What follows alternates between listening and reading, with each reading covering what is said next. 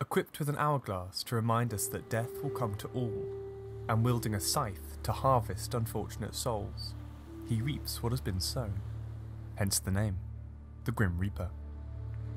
Nowadays, the Grim Reaper has become a pop culture icon, recognised across the world in books, comics, TV shows, movies, and games as a quintessential symbol of death. And whilst we're so familiar with who the Grim Reaper is and what he does, we are less certain about his origins. Where does the Grim Reaper come from? The answer may surprise you. So, many world myths and cultures have some sort of personification of death, especially in the form of a god or goddess.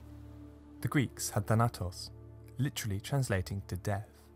He is sometimes depicted as a beautiful winged man, occasionally cloaked in black and carrying a sword, but in later depictions, Thanatos appears as a little winged boy, similar to Cupid, this time who carries an upside down torch, eerily representing a life extinguished. The Aztecs have Mictecacihuatl, the queen of the realm of the dead, who rules the afterlife with Mictlantecutli, her husband. Hindu and Buddhist mythologies have King Yama, who rides atop a buffalo holding a lasso to drag souls into the afterlife. As Buddhism spread to the Far East, so too did he. In China, King Yama turned into King Yan, and in Japan as King Enma.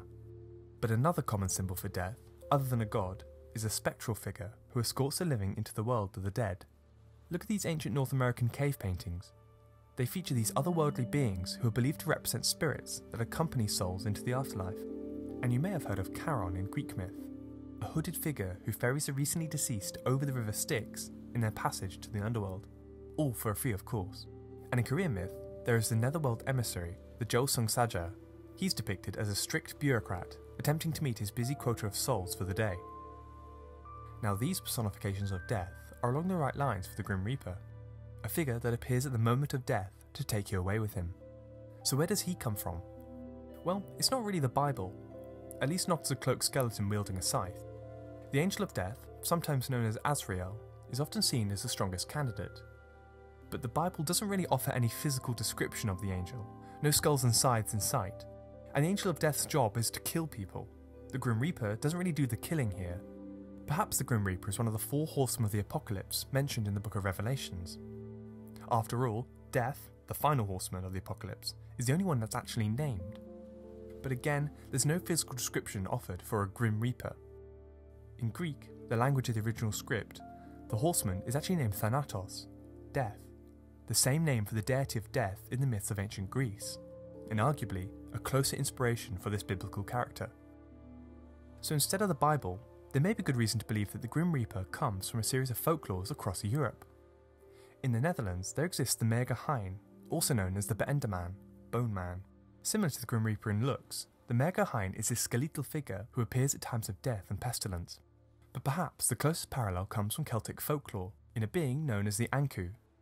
An Ankou appears as a man or a skeleton, and it wears a cloak and often wields a scythe, and in some stories it's described as a shadow, often atop of a cart collecting the dead. He's even said to wear a black robe, with a large hat which conceals his face.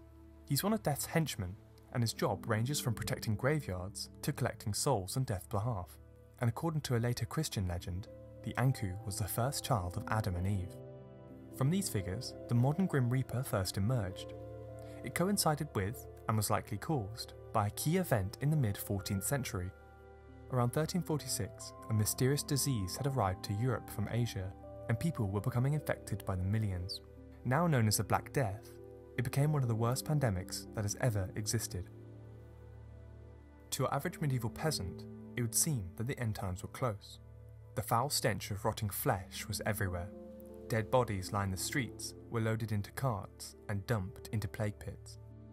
During its peak years of 1346 to 1353, the total number of deaths in Europe could be anywhere between 45 to 60%, more than half of Europe dead within a few years. And it wasn't just Europe, the Black Death may have reduced the global population from an estimated 475 million to 350 million just over a quarter of Earth's human population. Death was everywhere, and the motif of skeletons, disease, and mortality became extremely prevalent in art and literature. An idea known as the Dance of Death, or Danse Macabre, quickly emerged. Death became a personified and ever present figure who did not discriminate between good or bad, rich or poor, holy or unholy. Kings and peasants were the same, and will just as likely join Death's gruesome dance. All this likely combined with those pre existing figures of folklore, such as the Mager Hein or the Ankou, and all were homogenized into one single skeletal figure the Grim Reaper. And since then, the Grim Reaper made its way into the hearts, minds, and nightmares of everyday folk. So, real or not is ultimately up to you. But in the case of the Grim Reaper, let's hope to never find that one out ourselves.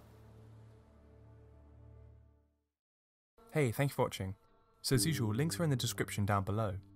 So the channel is currently in an ongoing spike in activity and subscribers, so welcome if you're new here.